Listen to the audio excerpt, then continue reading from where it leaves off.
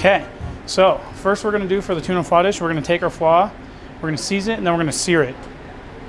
Uh, I like to season with just salt and pepper, pretty basic. Doesn't need anything else from that because right now you just want the flavor of the foie gras to uh, stand out more than anything else. We're gonna bring it over to a pan that's been on the heat. You kind of want to get a hard sear on it first, then we'll kind of let it cook through after that.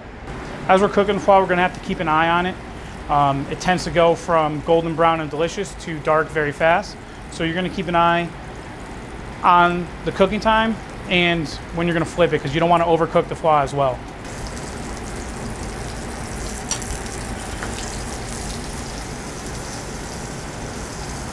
After we flip, we're gonna turn the heat down. This is going to ensure that we can cook it all the way through without burning the piece of meat. As we're cooking it on the second side, what I like to do is I like to take a spoon. I'm gonna baste it with the fat that the foie is actually releasing itself. One way to check to see if the foie is actually done is you're gonna kind of press right in the middle.